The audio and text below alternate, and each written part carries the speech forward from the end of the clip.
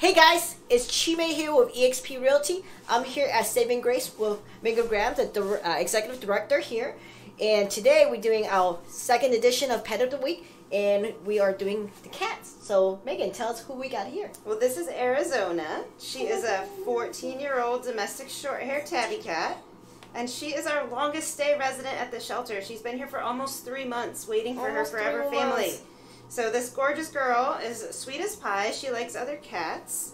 Um, she loves sitting in your lap and relaxing. She's a really chill girl.